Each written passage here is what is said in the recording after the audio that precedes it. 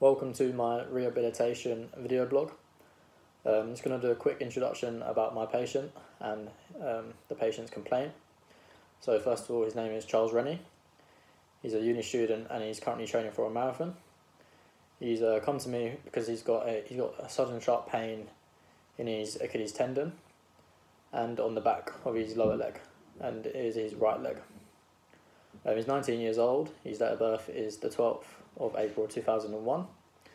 I've gone through the medical history, so I've cleared I've cleared that he's got no cancer, high, high or low blood pressure, um, or heart conditions, etc. He's on no medication. He's got no injury history.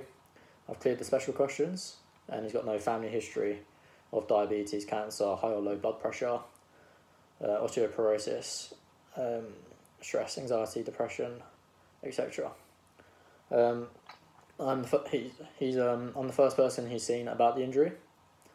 Um, the injury happened about a week ago, and he's uh, a bit of his training history was uh, he's been training three times a week.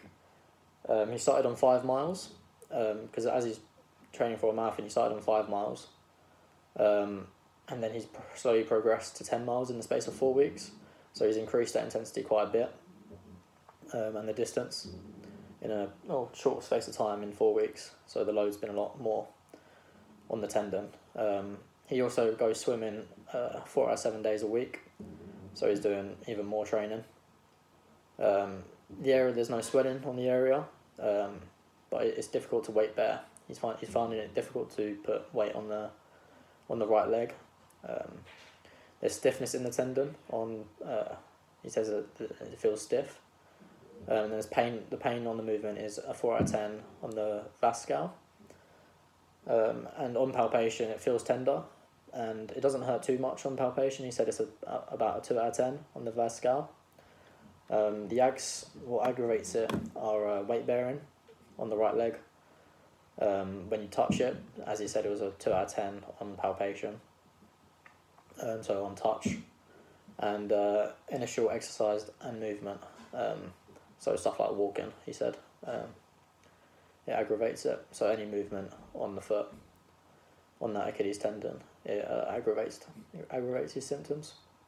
Um, eases, he said that it's just rest and uh, when there's no weight on the leg.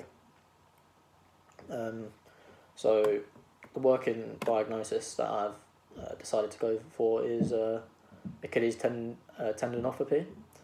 Um, this is because uh, we've well as you'll see later in the video that we've cleared we did a special test. We did a Thompson squeeze test which is a special test for Achilles rupture. Um, we performed that test and it became back it came back negative which you'll see in a second. Um, the Thompson squeeze test is quite uh, reliable as it has a uh, 0.93 uh, specificity. Um, so it's quite it's reliable. So once it's come back come back when, when it comes back of a negative test that is most likely going to be a negative test. Um, so we can pretty much rule that out. Um, and because there's pain on movements and touch uh, we decided to go for um, Achilles tendinopathy on the working di- diagnosis. So I'm quickly going to talk about the special test treatment and exercises that I used. Uh, for the special test I used the Thompson squeeze test uh, so I can rule out the Achilles rupture, and I'll talk more about that when I uh, perform the test. Uh, for the treatment, I performed. I'm going to perform a uh, K tape to the calf, and I'll explain. Uh, I'll get more into that and why when I apply the tape. Um, the exercises I'm going to give him are a single leg or double raise, uh, double heel raise isometric hold, a soleus calf raise, and a plantar flexion isometric hold with a resistance band. These exercises are specific to the patient because um, we want to be we want to strengthen the calf muscle and the Achilles tendon um, and the Achilles. So um, so it's more stable and uh, and we these exercises are he's able to perform these exercises because the um, his pain has got has gone down so um, he's uh, able to perform these exercises without, you know, a lot of pain. And now, so now I'll move on to the special test. So I will be performing the Thomas squeeze test. Um, first we'll have the patient lying prone with both feet off the end of the bed. I'm um, just going to ask for permission to squeeze the calf. Yep. Okay, so what we're going to be looking for is plantar flexion when we squeeze it. Only, uh, only a slight bit of plantar flexion. We'll start with the uninjured side first and then move on to the injured side. And look for slight plantar flexion again. So he has plantar flexion, so um, no, no plantar flexion would be a positive test. A positive test is indicative of an Achilles rupture, um, so we can rule that out. Okay, so for my treatment modality, I'm going to be performing, well, I'm going to be applying some K-tape to the patient. Um, I'm going to be putting the K-tape on his calf. Um, this is so it can support the Achilles in dorsiflexion. So first of all, we'll um, measure out the length of the tape. So we want to start off to the bottom of the foot to most of his calf. So right there.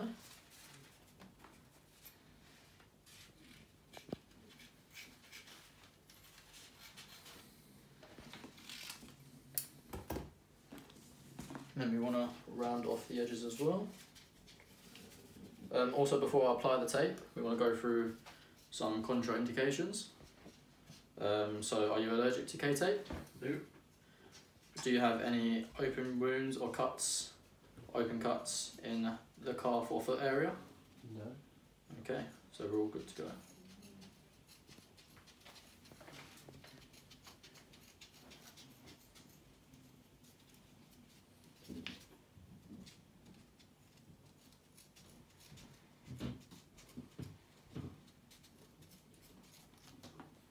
Okay. So we want to break off the edges as well. Okay, so first we'll start off at the bottom of the foot.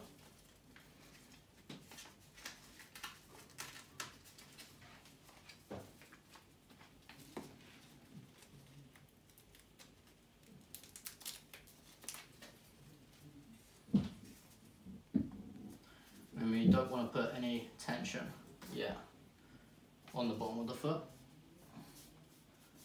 And then we want to slowly go up. And then we want to apply about 10 to, uh, 15 to 20% tension up, so not hardly any tension at all.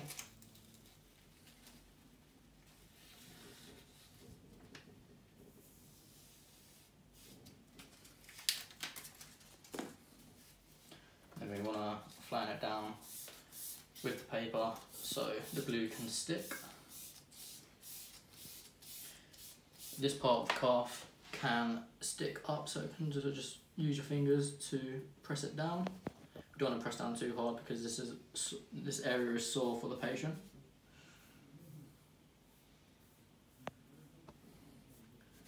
And we want to anchor it at the end as well, so with no tension.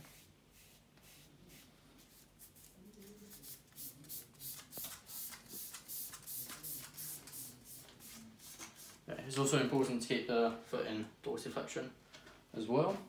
And then at the end, we want to find the most painful area on the tendon of the patient. So I'll find that, which say there's the most painful spot. Yeah. Okay, so there, so we want to keep that there. And then we want to use a small bit of tape to cross it over as well.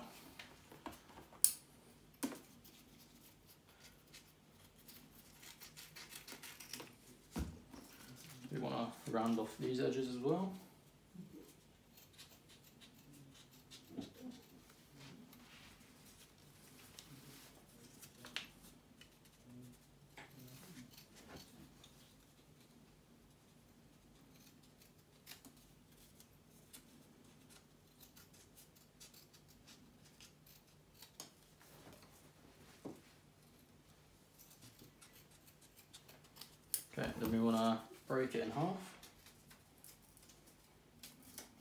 and then apply a stretch to the, so this bit, this part? Yeah. Okay, so apply it straight over that, spreading it, and then applying each side at the end with no stretch.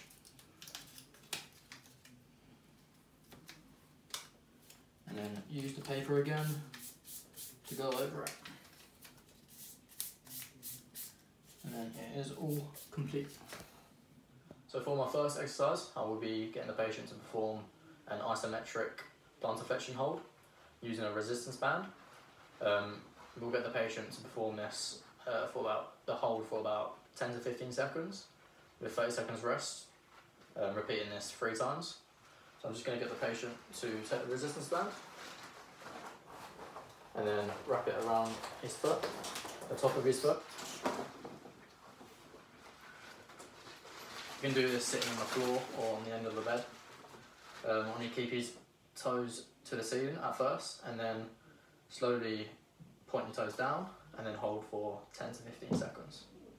What this exercise will be doing is strengthening his calf muscles and also his Achilles. So after holding it for 10 to 15 seconds, slowly release down to, to point to the, your toes to the sky and then 30 seconds rest and then repeat it three times. For my second exercise, I'm going to be performing a heel raise isometric hold. So first, I'm going to get the patient to face the wall and put two hands on the wall. This is so he can be supported. Um, I want to keep his body straight, so no bending in the knees or glutes. So uh, first, we'll get him to slowly raise up onto his heels, onto his toes, for about 10 to 15 seconds, keeping everything straight so the weight doesn't go into his glutes. Um, we want them to go into the calves. Um, hold this for about 10 to 15 seconds and then uh, about 30 seconds rest, repeated three times. Um, and then what he wants to make sure as well with his feet is to spread the weight between his pinky and big toe. So this is so he doesn't lean onto one side too much. For my third exercise, I'll be getting the patient to perform a soleus calf raise.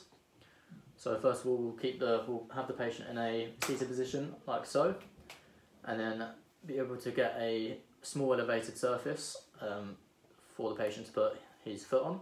So he wants to put the like, like the top third of the foot onto the elevated surface. Um, so first of all, if they can, um, you want to start with the heel below the elevated surface. It doesn't matter how much below, but if they can touch the floor, then that's perfect. Um, and then we want them to slowly raise up as high as they can and then back down again. They want to do this about 8 to 10 reps with 30 seconds rest um, with three sets. And if um, if they feel comfortable after doing that they can then next time they do it they can add a little bit of weight. So for example we've got a plate here where they can put on their fire and we'll just add that added weight um, that added resistance or if they don't have any like a weighted plate at home then they can put like a something that's a little bit heavy that's small that they can put on their fire and then they can also hold on to that and lean forward. So if you can like hold on to it and then lean forward to add that added resistance. So it's a tiny bit harder for the patient. This exercise will be strengthening his calf muscles and will be strengthening his, his Achilles as well. So now I'm just going to quickly summarise on how I thought the session went. Um, so I thought it went well. The patient was able to perform the exercises that I gave him um, and they didn't aggravate any symptoms, which was good. Also, I thought the treatment went well because the I got the patient to walk around on it after, and he felt that it was helping him. Um, the positives in the session was I'd say the exercises were specific to the person, or to, uh, for the patient's um, injury. Um, as obviously the uh, exercises were to help uh, strengthen the calves, calf muscles and to strengthen the Achilles. Also, the exercises were easy to do at home, and they they were easy to make like more difficult uh, variations of it with adding weight um, to the exercises. So for fu- for future weeks, uh, weaknesses, I would say that I could have used easier language uh, for the patient when I was um, delivering the exercises or for the treatment. Um, for example, um, I, I was saying plantar flexion and dorsiflexion a lot, not all the time, but I did a couple of times say the word plantarflexion to the patient, and they wouldn't necessarily know what plantarflexion means. So I could have said point to point your toes to the sky or point your toes down to the ground um, more often. I did at some points, but I could have been more uh, more consistent with it. What what I'll do next was um, what I would do next is uh, if the patient is ready, I would apply a heavy, like more load onto the exercises, um, or maybe even more reps and sets. But first of all, I'd increase the load, if if the patient is ready to do that. Um, I could also apply more treatment modalities. Uh, for example, I could do some mobilization, or some soft tissue, uh, or I could do a soft tissue massage. But uh, for me to do that, the patient said that there was a, a little, a tiny little, bit, a little, a tiny pain, um, a tiny bit of pain on palpation on the on the uh, tendon itself. So I wouldn't do the soft tissue massage yet, but maybe in future weeks when the pain has uh, settled down and there's no more pain on touch. So um, that would be the only time I'd apply the soft tissue uh, massage, but that would be something I'd be thinking about in the up and coming weeks when the pain dies down. Um, so yeah, I think that's all I'll do next uh, for now. Um, so I think that summarises um, the video blog. So uh, thank you for watching.